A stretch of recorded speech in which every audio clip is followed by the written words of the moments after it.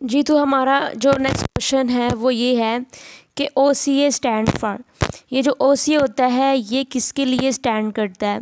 हमारे पास जो ऑप्शन है, उसमें ओलंपिक काउंसिल ऑफ़ एशिया है ओलंपिक कमेटी ऑफ़ एशिया है, या ओलंपिक चार्टर ऑफ़ अमेरिका है, या ओलंपिक काउंसिल ऑफ़ अमेरिका है. तो आप इसमें से जो एक और ऑप्शन है, उसको चूज़ कर लें, जो आपको ठीक ऑप्शन लगती है. तो इसकी जो राइट ऑप्शन है, वो है ओलंपिक काउंसिल ऑफ़ एशिया तो हम इसको देखते हैं तो ये बिल्कुल राइट है। उसके बाद है the weight of basketball is basketball का वेट कितना होता है? आप इसमें से एक चूज़ कर लें ऑप्शन जो आपको बेहतर लगती है, कि बास्टिक बॉल का वेट कितना होता है।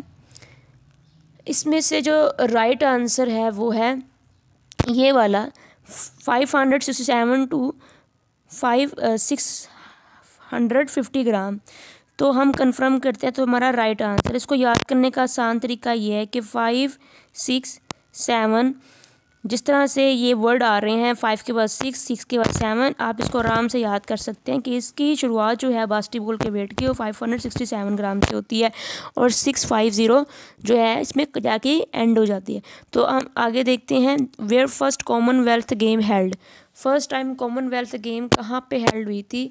तो ये आप इसमें से एक को चूज़ कर लें ऑप्शन जो आपको बेहतर लगती है। तो इसमें जो राइट right ऑप्शन है, वो है कनाडा कनाडा में ये फ़र्स्ट टाइम हुई थी हम इसे कंफर्म करते हैं। तो ये हमारा राइट ऑप्शन है। उसके बाद है athletics are also call the base of athletics जो होती हैं वो किस चीज़ की बेस के लाती हैं? एशियन गेम्स की ओलंपिक की कॉमनवेल्थ की ऑल ऑफ़ द बव की। आ, जो ओलंपिक गेम है वो इसका राइट आंसर है। तो हम देखते हैं तो ये इसका राइट आंसर है। एशियन गेम आल्सो नोन है जो एशियन गेम्स को का एक और नाम भी है। वो नाम कौन सा है? एशियाना है एशियाड है एशियाड है या एशियाडियन है। तो इसमें से आप एक को चूज़ कर लें जो आपको ठीक लगता है। आई थिंक कि आपने चूज़ कर लिया है? अब हम देखते हैं कि इसमें से राइट ऑप्शन कौन सा है। तो राइट ऑप्शन ये है असियार्ड तो ये देखें, ये राइट है। उसके बाद है two thousand eight Olympic games held in which country दो हज़ार आठ की ओलंपिक गेम किस कंट्री में हुई थी? ना ही तो ये रूम में हुई थी, ना ही ये एथेंस में, ना ही ओलंपिया में। तो ये बेंजिंग में हुई थी तो बेंजिंग हमारा ठीक है तो हम देखते हैं। तो यहाँ पे देखें तो ये इस, ये ऐप में प्रॉब्लम है। बेंजिंग जो है वो एक राइट आंसर है इसका। हम आगे देखते हैं, how many Olympic gold medals won by Pakistan hockey team. Olympic के अंदर पाकिस्तान हॉकी टीम ने गोल्ड मेडल कितने जीते हैं? वैसे अगर हम बात करें तो पाकिस्तान हॉकी ने जो वर्ल्ड कप जीते हैं ओवर ओलंपिक के अलावा वो तो चार वर्ल्ड कप हैं। लेकिन अगर हम बात करें ओलंपिक में गोल्ड मेडल की तो वो एक अलहदा बात है और आप इसमें से चूज़ कर लें कि आपको कौन सा जो है वो सही लगता है। तो अगर मैं आपको बताऊँ कि इसका राइट आंसर क्या है तो वो थ्री है। तो ये राइट आंसर है three gold medal which one might be good exercise program to significantly improve flexibility flexibility को इम्प्रूव करने के लिए कौन सा प्रोग्राम इनमें से जो है वो बेहतर होगा? क्या पोलीमेट्रिक ट्रेनिंग होगी इंटरवल ट्रेनिंग होगी, या बॉडी पंप या योगा आप इसमें के बाद हमारे क्वेश्चन है, वो है which one might be good exercise program to significant significantly improve flexibility अगर हम पोलीमेट्रिक की बात करें इंटरवल ट्रेनिंग की बात करें बॉडी पंप की बात करें, तीनों मुझे ठीक नहीं लगती। योगा मुझे ठीक लगती है तो yoga is the right answer उसके बाद है height of volleyball net for women women के लिए हम वॉलीबॉल के नेट की हाइट की बात करें तो वुमेन के लिए ये होती है आ, ना ही तो ये टू पॉइंट थ्री फोर होती है आप सेलेक्ट कर ले इसमें से राइट आंसर कौन सा आपको लग रहा है?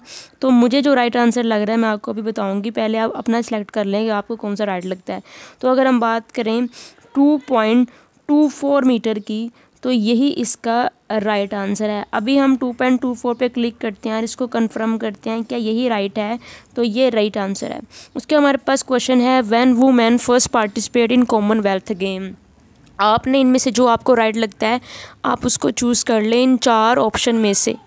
और एक बात बहुत इम्पोर्टेंट है इसमें देखने की कि अगर हम देखें कि 1930 में स्टार्ट हुई थी कॉमनवेल्थ गेम इस लिहाज से पहले के जो तीन एम हैं, वो तो बिल्कुल भी ठीक नहीं लग रहे। 1920 1928 क्योंकि ओलंपिक उस वक्त तो कॉमनवेल्थ गेम स्टार्ट ही नहीं हुई थी। तो इस लिहाज से अगर हम देखें तो 1920 भी नहीं है। 1923 भी नहीं है 1928 भी नहीं है तो इसका राइट आंसर 1962 बनता है। इसीलिए 1962 is the right answer women ने first time participate commonwealth game में। In which country first Asian games held पहली बार एशियन गेम्स कब हुई थी? किस कहाँ हुई थी? किस कंट्री में हुई थी पहली एशियन गेम्स तो अगर हम देखें आ, पाकिस्तान तो पाकिस्तान तो बिल्कुल भी नहीं है क्योंकि पाकिस्तान ने 2004 की एशियन गेम्स को करवाना था लेकिन पाकिस्तान ने नहीं करवाया इसको भी, क्योंकि इसकी पॉलिटिकल और फाइनेंशियल हालत इतनी अच्छी नहीं थी कि ये करवा सकता। और पाकिस्तान ने ये कॉमनवेल्थ गेम फिलिपाइंस को दे दी थी कि वो करवा लें। इसलिए जो राइट इसका आंसर है, वो कौन सा हो सकता है? साउथ एशियन गेम पाकिस्तान ने करवाई हुई है। 2004 में पाकिस्तान ने साउथ एशियन गेम्स करवाई थी इस्लामाबाद में। इसी लास्ट से अगर हम देखें नेपाल, इंडोनेशिया, इंडिया तो इन तीन में से कौन सा राइट है? पहली एन जो एशियन गेम्स थी, वो 1951 में हुई थी। कहाँ पे? इंडिया में हुई थी। तो इंडिया इसका राइट आंसर है। अब हमारे पास नेक्स्ट क्वेश्चन है the cool down after exercise is important because it cool down हम क्यों करते हैं? इन चारों एम में एक एम एक ऑप्शन ऐसी है जो बहुत ही ज़्यादा लिंक कर रही है कूल डाउन के साथ, जो कि है लैक्टिक एसिड की लैक्टिक एसिड वाली। क्योंकि हम कूल डाउन इसलिए करते हैं ताकि हमारे जो बॉडी में लैक्टिक एसिड है, वो कम हो जाए या बिल्कुल ख़त्म हो जाए। तो इसीलिए जो लैक्टिक एसिड है that is the right answer speeds the removal of lactic acid तो ये हम इसको करते हैं। उसके बाद है national game of Pakistan is national game Pakistan की कौन सी है? चाहे इंडिया हो या पाकिस्तान हो, इन दोनों की नेशनल गेम सेम ही है। तो ये है हॉकी हॉकी जो है नेशनल गेम है इंडिया और पाकिस्तान दोनों की। उसके बाद है which of the following is a fundamental motor skill often use for active layer activities fundamental की बात जहाँ भी की जाएगी फंडामेंटल रनिंग ही होती है। बुनियादी अगर बात करें तो ये रनिंग है, दौड़ना। तो इसीलिए इसका जो राइट right आंसर है, वो है रनिंग सो ना ही हॉकी ना ही नेट बॉल बल्कि रनिंग तो हम क्लिक करते हैं रनिंग के ऊपर। तो ये हमारा राइट आंसर है। तो ये थी हमारी आज की वीडियो और हमारे हंड्रेड में से हंड्रेड सही आंसर हैं। Thank you so much watching. This we channel को सब्सक्राइब ज़रूर कीजिएगा।